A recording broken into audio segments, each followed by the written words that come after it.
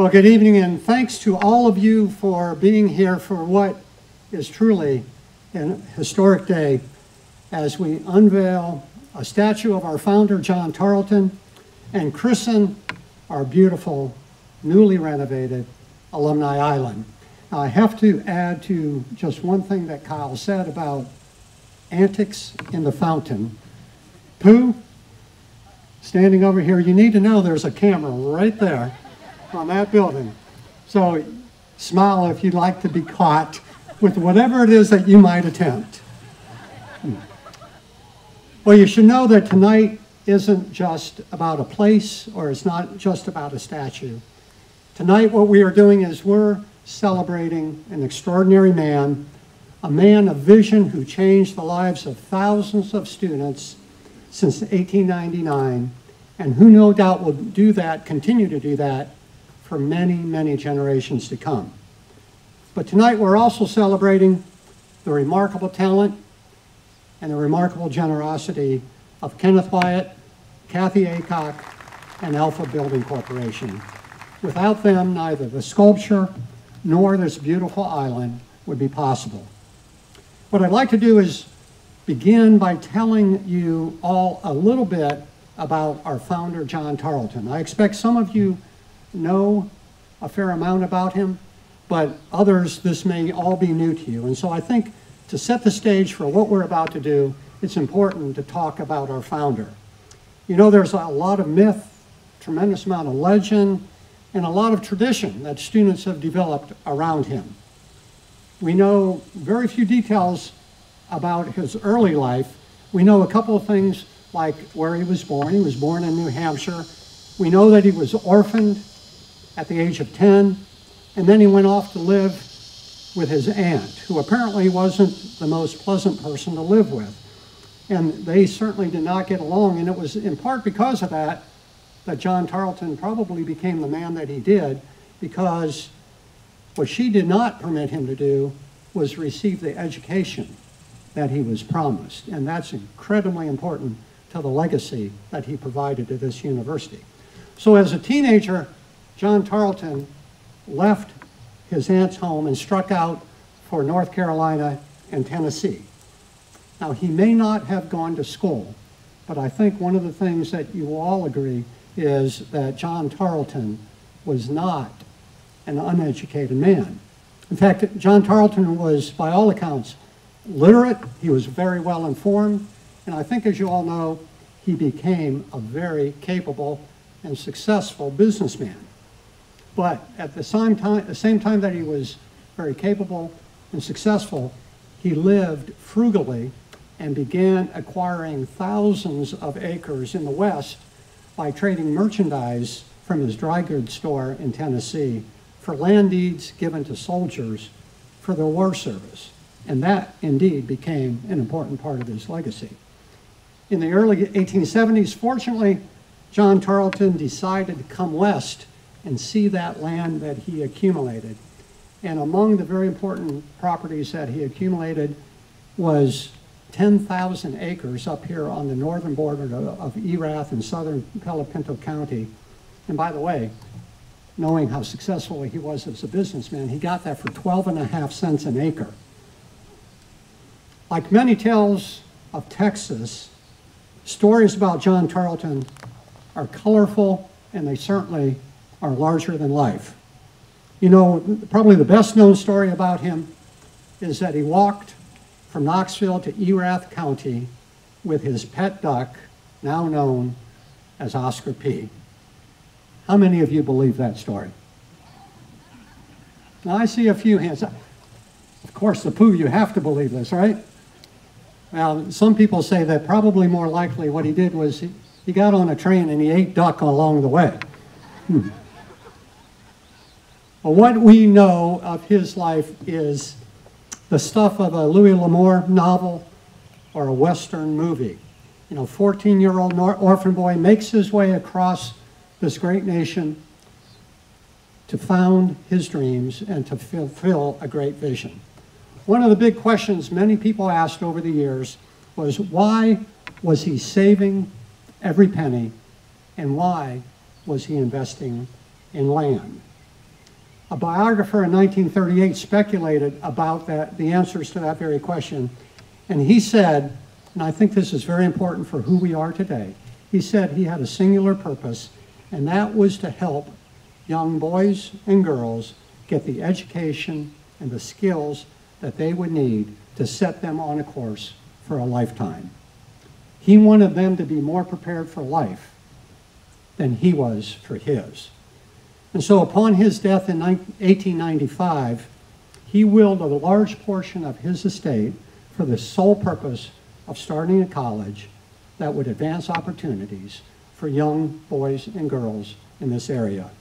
By the way, you should know it wasn't just about this place, but he also left a significant amount of money to start an orphanage in Knoxville that still bears his name to this day.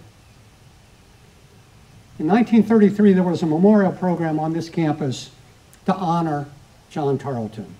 And featured speakers at that service were then the president of the University of Oklahoma, W.B. Bennett, and T.O. Walton, the president of Texas A&M. They spoke of John Tarleton as we know him, as a pioneer. And one, and this is what they said, one who experienced hardship to the end so that those who came after him might enjoy peace and human satisfaction. What is John Tarleton's legacy? That's an important question we need to ask as we dedicate this uh, statue to him tonight. His le legacy is this university, and it is the thousands of graduates that have come through this campus over the years. This statue is important for a number of reasons. It ensures that future generations of students, not just those that are here now, but future generations, know how this university began and the humble man who made it possible, John Tarleton.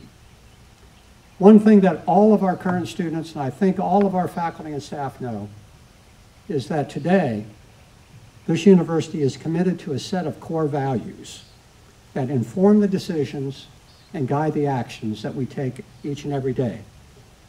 An important part of those that is, uh, is relevant to tonight is they connect in a very meaningful way to the ideals of who John Tarleton was as a man back in the 1800s. This is how he was described by biographers. As honest, as a pioneer with a tolerant spirit toward others, a dreamer and a visionary, a successful businessman, a good citizen interested in the welfare of others.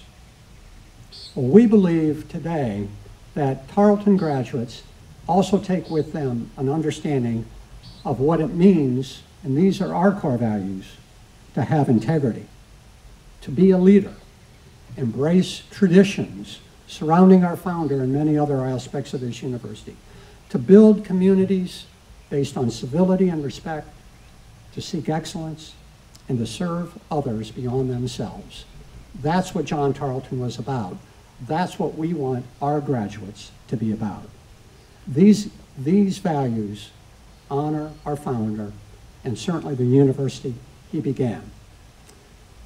At that 1933 memorial uh, service program, Judge Thomas King, who was one of the original trustees of Tarleton, charged the students to follow John Tarleton's way of living. And he told them this, and this is his quote, if you, like him, have an objective in life, and all your steps are taken to reach that objective, if, like John Tarleton, you would give everyone a square deal, if, like John Tarleton, you will never say, let George do it, but do yourselves, he really did say that, George Malik. If, like John Tarleton, you will never say, let George do it, but do yourselves what you can do, and if, like Mr. Tarleton, you never ride when you can walk and be self-supporting, you will in the end get the prize of any calling that you may set before you. That's what we hope for our students. And so these prescriptions of success, we believe, are just as relevant today for our students as they were in 1933.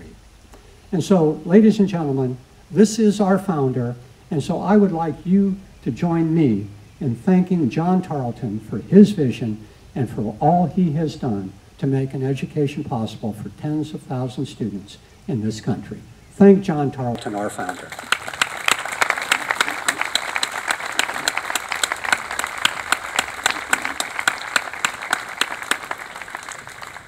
Well, at the beginning of my remarks tonight, I said that uh, this is not only about John Tarleton, but it's also about Kenneth Wyatt, Kathy Aycock, and Alpha Building Corporation.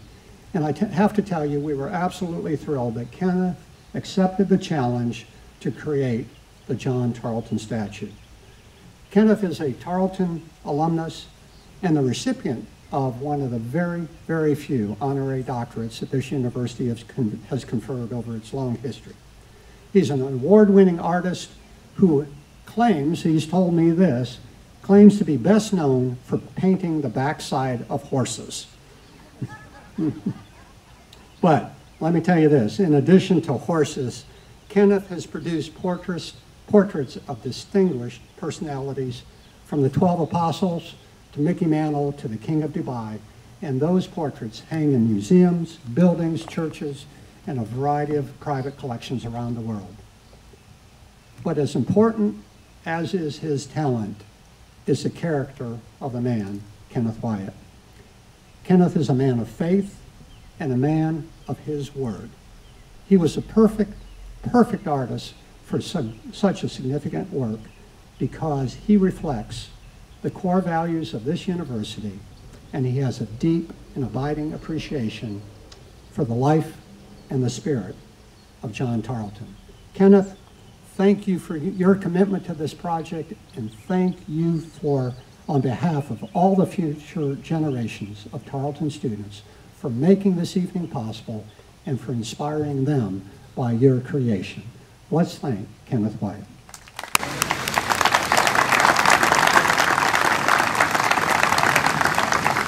President Dottavio, Ms. Aycock, Mr. Boer, Dr. Wyatt, Mr. Cornegie, would you please do the honor of showing John Tarleton his new home on Alumni Island?